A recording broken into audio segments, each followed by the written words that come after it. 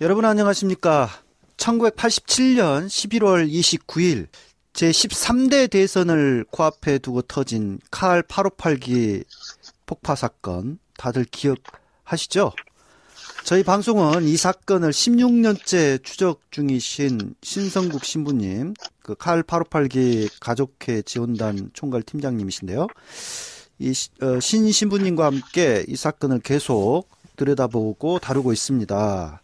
오늘 또 관련 내용을 이어가겠습니다. 신부님 나와 계십니까? 네, 안녕하십니까. 신성국입니다. 예, 아, 여전히 씩씩하십니다. 아이고, 고맙습니다. 그 11월 29일 날 사건이 터졌지 않습니까? 네네. 그래서 칼 858기 사건 32주기가 이제 얼마 안 남았네요. 네, 이번 달 말에 이제 한 두어, 2주기를 합니다. 예, 두어 주 지나면 이제 32주기인데 네. 어, 올해도 추모제가 열립니까? 이 추모제가 어떻게 예. 뭐 열리는지 혹시 예, 예. 그 매년 11월 29일 날은 이제 저희들이 추모제를 예, 거행, 거행하고 또 이 이제 이분들이 우리는 그동안 115명의 그 희생자로 파악을 했었는데 예. 아, 최근에 이분들이 116명으로 그 어. 에, 이게 변경이 됐어요. 아, 한 분이 더 늘었네요. 아, 한 분이 늘은 게 아니고 예. 에, 정부가 그동안 이 그 사망자에 대한 숫자 파악을 예. 에, 잘못 계산을 했습니다. 아하. 일단 예, 정확 추모제는 예. 어, 이렇게 어, 29일 날 어디서 네. 열립니까? 그래서 29일 날 저희들이 이번에는 정동 프란치스코 회관에 교육관에서 예. 에, 그 정동 서울 정동의 그 경향신문 옆에 예, 예. 에, 그 수도회가 운영하는 프란시스코 교육관, 예. 에, 거기에서 올해 이제 저희들이 개최를 합니다. 예. 음. 그래서 칼기 가족회가 1년에 한 번 전체 그 가족들이 모이는데, 예. 이제 항상 이 추모제 때, 이제 전국에서 어, 이 희생자 가족들이 오시고, 예, 예. 그 다음에 이 사건에 관심 있는 시민들도 또 많이 참여를 합니다. 예. 추모제 때는 어떤 내용을 가지고 하나요? 예, 추모제는 매년마다 조금씩 다릅니다. 예, 예.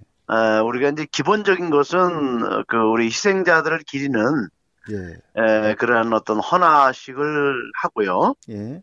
그 다음에 이제 또 어떤 해는 심포지움 형, 형태로 예. 어, 이 사건의 진상규명에 대한 어떤 발표회를 에, 우리가 개최하면서 바로 그 자리에서 예. 또 헌화하고 분양을 하고 이런 식으로 매년마다 조금씩 그, 이 뭐야, 행사 성격이 조금씩 달라지고 있어요. 아, 그렇군요. 예, 올해는 아마 헌화식 정도에서 예, 올해는 행사를 끝나는 것 같아요. 아, 그래, 그래요.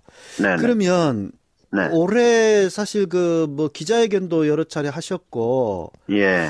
어, 진상 규명을 위해서 미국도 다녀오셨 오셨고요. 네, 예, 네. 뭐 상당히 그 활발하게 이번에 에, 올해 그 신부님 활동하신 걸로 아는데 네. 금년을 돌아보면서 예. 어, 그동안 어떤 진상 규명과 관련해서 좀 더 진척된 어떤 성과들이 예. 있습니까? 예, 예. 그렇죠. 작년부터 예. 올해까지는 저희들이 그 진상규명이 질적으로 더 좀 많이 진보됐습니다. 예. 예, 그것은 뭐냐면 저희들이 이 미얀마에서의 그 동체 관련된 예.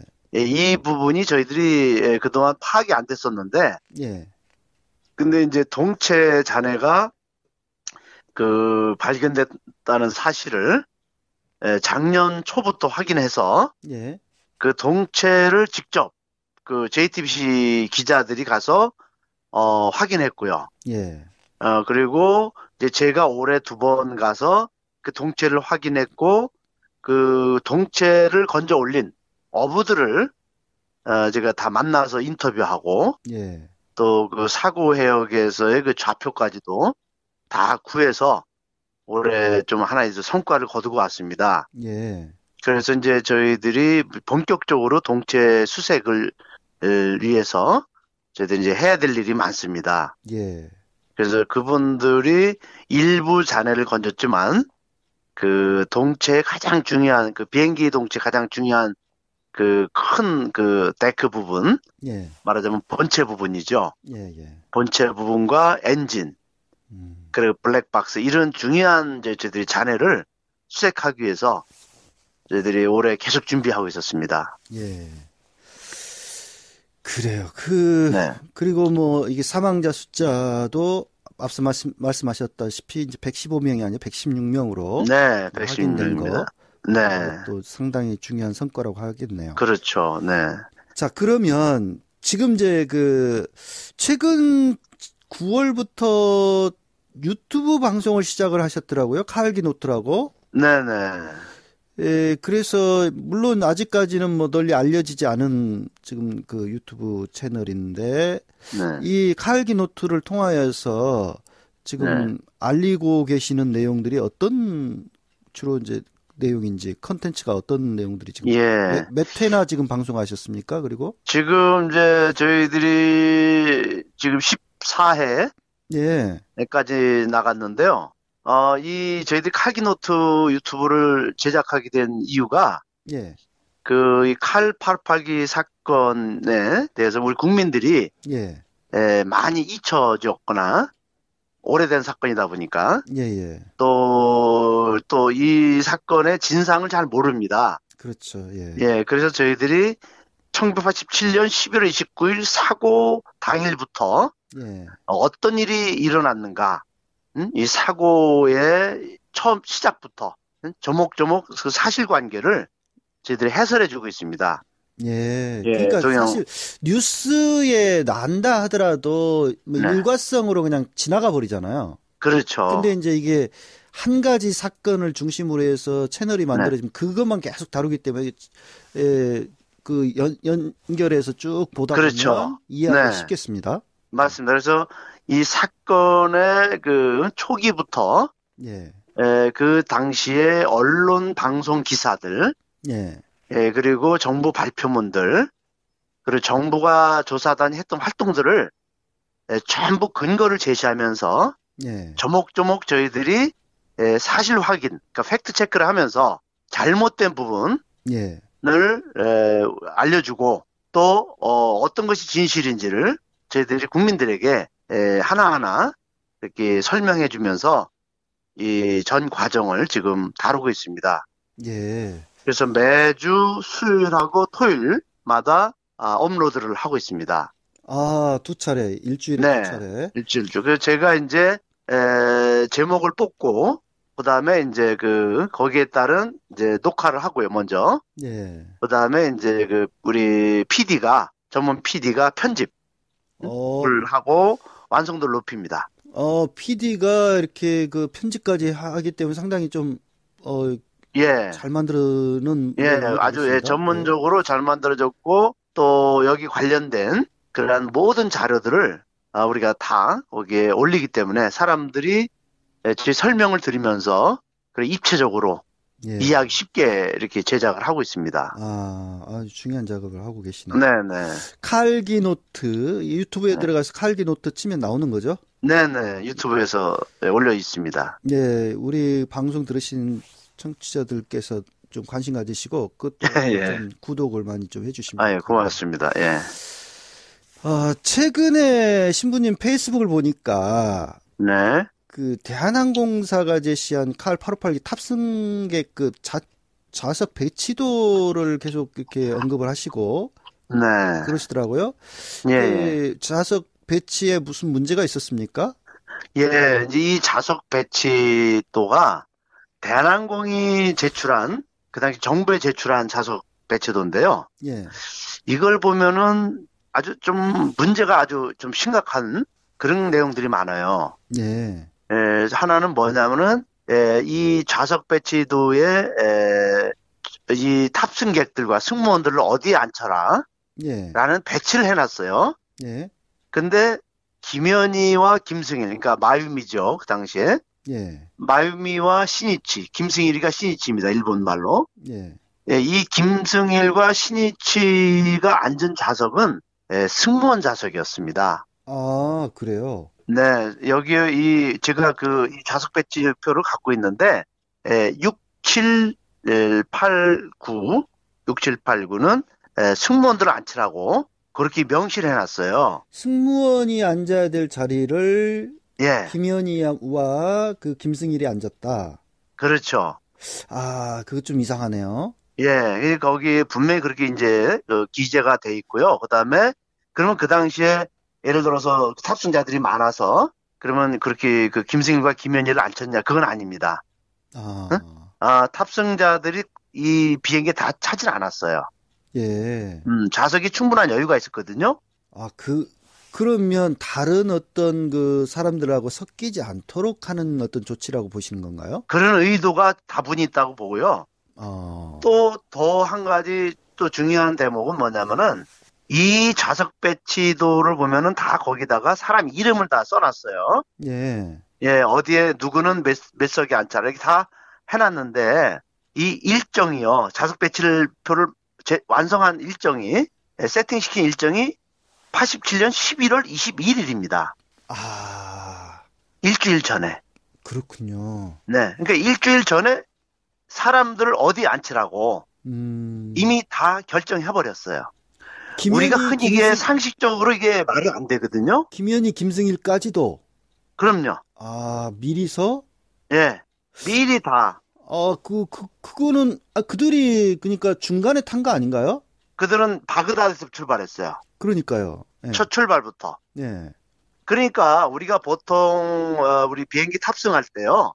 탑승권을 끊을 때 좌석 배치도가 나와요. 좌석이 나와요. 그렇죠. 근데 이거는요. 일주일 전에 예? 이미 탑승할 사람들 좌석을 다 배치시켜 놨어요. 아, 진, 탑승권이 끊기 전에. 그렇군요. 예, 그러니까 예약한 사람들, 예. 예약한 사람들을 다 어, 이제 그 일주일 전에 이제 이 해놨습니다. 그 또 승무원 좌석에다가 예, 배치했다. 그렇죠. 또 여기다가 일부러 써놨어요. 예. 김승일과 김면희는 여기 앉히라고 또 아주 꼼꼼하게 그거를 기재를 해놨어요. 아, 예. 그 여기서 한 가지 더 나가면요. 더 또 재밌는 그 저희들 자료가 하나 있는데, 네.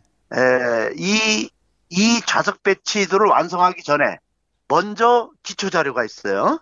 예. 그러니까 좌석 배치도가 비어 있는 좌석 배치도가 완전히 공란인 상태에서 마유미만 화살 표시를 해놨어요. 아, 화살표 표시를, 아, 아, 그러니까 다른 사람들 아직까지 좌석 배치도를 안한 공란이에요. 다 다른 사람들은. 예. 근데 마유미만 7번에 앉히라. 7번 좌석에 앉히라고 따로 음, 따로 화살 표시를 해놓은 자료가 또 있어요. 아, 그게 나중, 그러니까 사건 터지고 나서가 아니고 그 전에 나온 아니죠. 자료 확실합니까? 네네. 그렇죠. 아, 그래요? 예, 예. 그러면 그 좌석 배치도를 만든 사람은 확인됐습니까? 예, 그럼요. 여기 다 나와 있죠. 그 이제 사인이 있거든요. 아하. 여기에 이제 예, 대한항공 사고대책본부 과장 음, 사인을 해놨어요. 다 그러면 그 사람들을 좀 어, 수, 추적을 해야죠. 수사를 해보거나 뭐 하면은 네, 뭐, 네, 뭐가 나오겠네요. 그렇죠. 이라크 그 바그다드에서 네, 서울 김포공항까지 와야 될 그 탑승객 중에서 중간에 내린 사람도 있다고 하던데 예, 예. 그게 누군가요? 예, 사실은 제가 이름은 알고 있습니다. 여기에 자- 탑승자 명단에 있거든요. 예. 근데 오늘은 공개를 못 합니다. 왜냐면 이게 지금 저희들이 조금 더 이 사람을 확인해야 될 부분 몇 개 있어갖고, 아, 아, 그 사람은, 에, 이름도 예. 그 11월 22, 칼 858기가 이라크 바그다드 공항에서 출발한 게요. 예. 우리나라 시간으로 87년 11월 28일 날 11시 이- 에, 반입니다. 아, 오전 11시 반. 아니면 아니죠. 밤, 밤. 오후, 오후. 예. 그렇죠. 오후 예. 11시 반에 출발해, 이게요. 아, 그런데, 그러면 마지막, 이제 11시 반에 출발하는데 그 최종 탑승자 명단, 예. 이제 출발 직전, 예. 그 명단을 우리가 갖고 있어요. 음. 그러면 여기 어떻게 돼 있냐면요. 그 명단을 맞춰 보니까 그 중에 아. 중간에 내린 사람이 있다. 그렇죠. 이 사람은 어떻게 돼 있냐면요. 바그다드 공항에서 출발해서 서울 김포공항까지 오는 사람. 예. 그 명단을 우리가 갖고 있어요. 예. 근데 다른 모든 사람들은 다 사망했는데 예. 그 명단 안에 있는 사람들 다 사망했는데 예. 한 사람만 그 명단에 한 사람만 사망하지 않고 중간 아부다비에서 내렸어요. 한국 사람인데 그렇다 이거죠? 한국 사람 예예예 예, 음. 그러니까 김현희, 김승일과 더불어서 내린 겁니까? 맞습니다 예. 아. 근데 이 사람은 예, 이 사람은 김현희와 김승일은 바그다드에서 아부다, 아부다비까지만 탑승권을 끊은 사람이고요. 예. 지금 얘기하는 제가 얘기하는 사람은 서울까지 와야 될 사람입니다. 와야 되는데 중간에 내렸다 이거죠? 그렇죠. 어. 그래서 그 당, 예, 그래서 그 당시에 예. 교통부 이 관계 직원들도요, 예. 어, 그 사람 이름을 대면서, 예. 어, 그 사람은 왜 안 왔지? 라고 왈가불가 했답니다. 혹시 국정원 직원 아닙니까? 아, 안기부 그때 당시에. 그러니까 여러 가지 저희들은 지금 가능성을 열어두고 있습니다. 어. 예, 이름이 다 확보됐어요, 저희들은. 이름이 확보돼. 뭐 이름 예, 이름이 다 확보하고, 이름과 그 사람, 그러니까, 어, 이름과 좌석만. 이름과 자석만 알고 있습니까? 예, 예, 예. 그 사람이 뭐그 어떤 회사 소속이 아닙니다. 회사 소속도 아니고 아, 그러니까 회사 소속은요, 다 써 있어요. 어느 회사라고. 예. 그러니까 이 사람은 individual. 그러면 승무원도 아니고요. 아니고. 어, 어, 승무원들은 저들이 명단이 있어요. 예, 아주 좀 미스테리한 예. 사람이네요. 이 사람은, 이 사람만 지금 신원이 전혀 확인이 안 된 사람. 예. 이름만 나와 있어요. 이름만 확인이 됐다. 네. 아, 참 희한하네요. 아. 네네. 근데 그 밖에도 지금 한국 외교관 11명이 아부다비에서 내린 적이 있다고 네. 뭐 하던데요. 그게 네. 그 그건 뭐, 뭔가요? 예, 맞습니다. 그, 에, 당시에 그, 주로 일본 언론, 예. 일본 언론 주간 신조 지지통신 에서 여러 차례 이거를 보도했어요. 예, 예. 아부, 그 제목이 뭐냐면요. 아부다비에서 내린 한국 고관 11명. 예. 이게 계속 보도됐는데, 그 사람들이 다 외교관이다. 한국 외교관이다. 예. 라고 돼 있고요. 이게 이거를 증명할 만한 자료가 하나 있는데요. 어, 대한항공이 당시에 아, 이라크 바그다드에서 아부다비까지 오는 명단을 예. 그 당시 정부에 제출했거든요. 근데 그 중에서 외국인들 있죠. 예, 예. 그러니까 말하자면 해외 외국인들 외국인들 명단이 에, 16명 정도가 있는데 그거를 제출하면서요. 11명이 지어진 명단이 또 있어요. 예. 그러니까 외국인들은 외국인들 명단에는 나이와 국적이 나와 있고요. 예.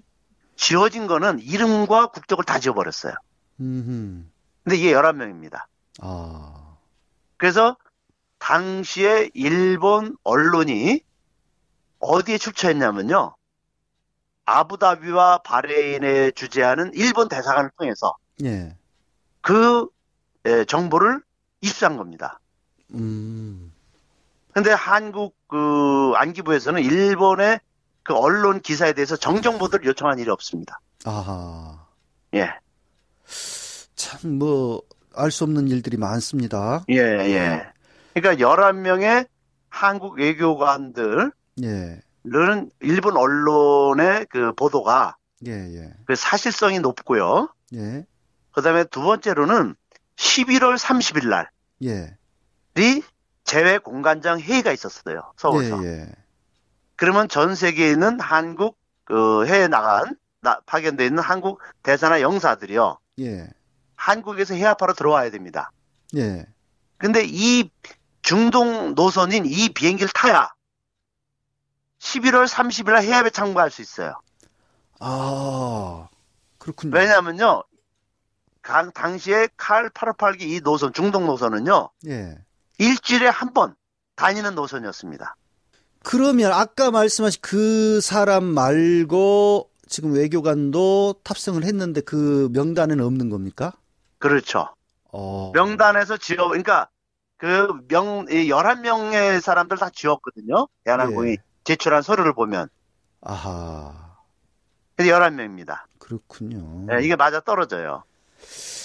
왜, 왜, 왜 그 국적과 예. 다른 모든 사람들은 다 탑승객들은 이름, 국적, 나이 다 나와 있는데 예. 왜 11명은 지웠냐고요. 음. 그러니까 그리고- 아부, 아부 다비에서 내리 내려서 다른 비행기로 갈아타고 내, 오- 왔다는 게 유추. 이제 저희들은 왜- 왜냐면 이제 한국에 들어와야 되니까. 예, 예. 어? 그런데 이 사람들은 그죠? 그 아니 그 대한항공을 탔으면 이 마지막 어라이브 어라이브가 도착지가 어? 네. 서울인데 김포공항인데 왜 굳이 아부다비에서 내려 또 갈아타냐고요. 그러니까요. 어? 좀 이건. 말이 안 되잖아요. 예, 예. 어? 서울에까지 오야 될 사람들 왜 중간에 내려 다른 걸 갈아타냐고. 그러니까 이제 사, 사고가 터질 것을 알아- 누군가. 누군가 알고 있었고. 예, 그렇죠. 예. 그래서 그 일본 당시에 그 지지통신에서는 그렇게 나와요. 기록에 보, 그 기사에 보면 예. 에, 그들을 그들이 어떻게 이 사고가 날지 알았을까라는 퀘스천 마크를 쓰- 씁니다. 그러면 이 내용은 국내 언론에는 지금 보도가 안된 거죠? 일치 안 나왔습니다. 어. 에, 우리나라 원래는 어느 어느 데서도 한 군데서 나오지 않았어요. 참나. 이거 일본 언론이 계속 발표했습니다. 그렇군요. 네. 그러니까 우리나라 언론은 그 당시 보도 지침에 의해서 예. 안기부가 다 그래서 언론 통계를 했잖아요. 예. 일치 안 나왔죠. 아, 정말 또 새롭게 지금 드러난 이런 좀, 그 이런 것들까지도 철저하게 좀 앞으로 규명을 해야 될 것 같은데. 그럼요, 해야 됩니다. 자, 현재로서 그 진상규명의 가장 핵심적인 열쇠가 되는 건 뭐라고 보시는지요? 예, 진상규명의 가장 그 기본적이고 핵심적인 열쇠는 동체입니다. 예, 동체. 예, 이 어떤 항공기 사고든지 예, 동체를 통해서 사고의 원인을 바- 어? 바- 어, 알아낼 수 있어요. 예, 밝혀낼 수 있어요. 그 동체를 봐야 여기서 김현희가 말한 그 지점에서 폭파가 일어났느냐, 예, 아니면 다른 그 위치에서 폭파가 일어났냐를 봐야 됩니다. 예, 예, 증거물을, 물증을 보여주지 않고 국민들에게 아무리 안기부가 음, 뭘, 뭐 사고 얘기를 하고 뭘 발표를 해도 누구도 믿을 수가 없어요. 예, 그래서 우리는 일단은 이 칼 파라블릭의 동체를 한 번도 본 적이 없으니까 음흠, 누구도 본 적이 없으니까 일단 그거부터 찾자. 예. 그리고 확인하자. 응? 확인하자. 그렇죠. 국가가 당연히 해야 될 일- 일을 안 해버렸으니까. 예. 그, 사실, 거기서부터 출발해야 되겠네요. 네. 그래서 동체 수색이 우선 이고 또 그걸 첫 그 단추로 우리가 해서 이제 깨어 맞춰야 됩니다. 예, 예. 그리고 김현희는 이제 동체 수색 이후에 예, 그리고 동체 그 수사 조사 이후에 김현희는 이제 그 다음에 우리가 수사를 들어가야 됩니다. 자, 이, 이제 11월 21일, 11월 21일 목요일 날 그 여수를 신부님이 오신다고요? 제가 예, 제가 여수를 제가 어, 강연 예. 초청을 받았습니다. YMCA 그 평화통일 아카데미 강연차 여수를 방문을 하시는데 네. 국가 조작과 반공 프레임이라는 주제더라고요. 주제가 예, 네, 네. 에, 어떤 내용으로 이렇게 강연을 하실지 살짝 마- 그 어떤 저기 구상을 좀 맛배기로 좀, 예. 아, 그래요? 네. 우선 두 가지 아마 큰 그 타이틀이 나갈 것 같아요. 예. 예, 하나는 이제 그 사고 전반에 대한 조사, 예. 어? 이 칼기 사고 전반에 대한 조사가 아, 당시 제대로 이루어졌는가? 예. 예, 그거를 제가 좀 이제 설명을 할 것이고요. 예. 그 다음에 이제 그날 어떤 통일과 평화 문제를 또 다루는 거니까 분단 문제를. 예. 그러니까 이 칼기 사건이 에, 북한 이 사건으로 북한이 테러 지원국이 됐습니다. 예. 그래서 그 북한이 이 사건으로 인해서 어- 미쳤던 영향, 북한에게 미쳤던 영향, 음? 이 네. 무엇인가? 예. 예, 그래서 이것을 저희가 좀 제가 또 이야기를 나누고 음. 그 다음에 이제 김현희의 신원에 대해서 예. 많은 사람들이 궁금해하니까 음. 그 부분은 우리 탈북자 출신 예. 이 이제 홍강철 선생이 가서 어, 집중적으로 예. 김현희 신원을 탈탈 털어주는 아, 예. 그런 또 우리 재밌는 시간을 가질 겁니다. 예, 그렇군요. 네. 아, 기대가 됩니다. 또 혹시 아유, 감사합니다. 뭐, 예, 여수의 그 이, 뭐, 또 신, 신성국 신문이 주로 이제 서, 수도권에서 활동하고 계시는데, 예, 예. 예, 시- 모처럼 오시는 거니까 한번 또 네. 관심 있는 분들 참여, 예. 참석해서 또 네. 좋은 시간을 어, 가졌으면 네. 좋겠습니다. 네, 감사합니다. 그래요, 신부님. 그러면 뭐 얼마 뒤에 만나 뵙겠네요, 직접. 네, 한번 또 우리 목사님 뵙겠습니다. 그때까지 그래요. 건강하시고요. 네. 예. 예, 어, 그래요. 오늘 어 방송도 사- 상당히 좀 쇼킹하면서 중요한 내용들을 지금 어, 말씀해 주셨는데 네. 이 부분들 또 좀 앞으로 어, 명명백백히 밝혀졌으면 좋겠습니다. 네, 고맙습니다. 예, 오늘 말씀 감사합니다. 네, 감사합니다. 팔팔하게 달려요. 팔팔 대리운전. 061-681-8888 천원씩 기부하는 대리운전. 팔팔 대리운전. 061-681-8888 팔팔하게 달려요. 팔팔 대리운전. 061-681-8888